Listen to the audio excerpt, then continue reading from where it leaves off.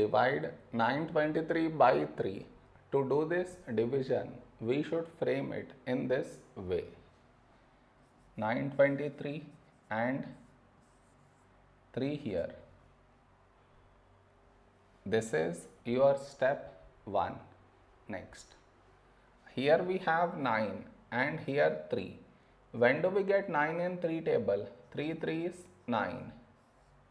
Now we should subtract. We get 0. After this, bring down the beside number. So 2 down. Now here we have 2 and here 3. 2 is smaller than 3. So we should bring down the second number.